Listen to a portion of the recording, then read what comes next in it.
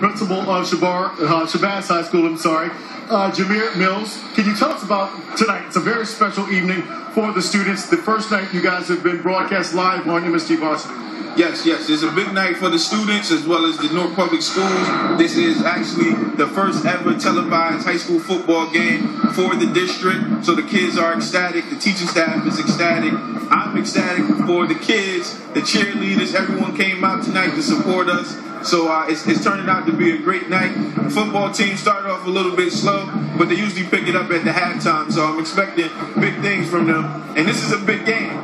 Uh, Shabazz versus Nutley. We beat them tonight. It'll be big for us in terms of power points, and we should be on our way to the playoffs. And in the background, we hear the band when we talked earlier about, the band I guess, famous in their own right. They have an opportunity to play in front of President Barack Obama. Yes, they have. They are. Uh, we call them the presidential marching band. They play for Bill Clinton. They play for Barack Obama. They actually played at King University just today, and now they're out here now playing again. They'll be at the art parade on Sunday. So they're continuously doing things throughout our community. They've also played for Howard. They've had them come down and play for them at their halftime show. And Howard has returned the favor and played for us as well. All right, thank you very much. And we're going to listen to this award winning band right now.